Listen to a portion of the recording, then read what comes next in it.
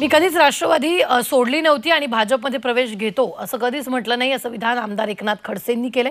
एवढ्या मोठ्या नेत्याची लाचारी पहिल्यांदाच बघितली असून त्याची क्यू येते अशी प्रतिक्रिया गिरीश महाजनांनी दिली आहे. ही मोठी बातमी आपण आत्ताच्या क्षणाची पाहतोय. खडसेंनी केलेल्या वक्तव्यावर आता गिरीश महाजनांनी टीका केलेली मी राष्ट्रवादी कधीच सोडली नव्हती आणि भाजपमध्ये प्रवेश घेतो असं कधीच म्हटलं नाही असं विधान आमदार एकनाथ खडसेंनी केलं होतं. त्यावर महाजनांनी आता टीका केली आहे.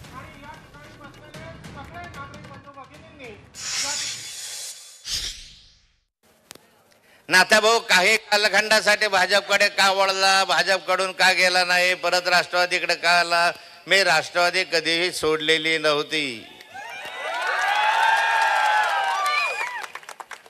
मी भाजपमध्ये मला प्रवेश द्या असं कधीही म्हटलं नव्हतं.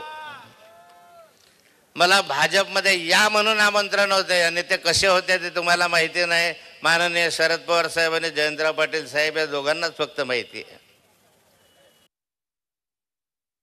मला वाटतं इतकी लाचारी मी पहिल्यांदा बघतो राजकारणामध्ये. आणि एखाद्या स्वतःला मोठा समजणाऱ्या नेत्याची लाचारी ही इतकी झालेली आहे. आता तुमच्या समोरच ते मला त्यांना सांगतायत बाईट तुम्ही देत आहेत की मी त्यांना विनंती केली मी त्यांना गेलो पण ते मला घेतच नाही. मी तिथे फोटोही काढले माझा प्रवेशही झाला पण ते मला येऊ देत नाही. म्हणजे किती लाजीरवाणा हा विषय असेल मला वाटतं.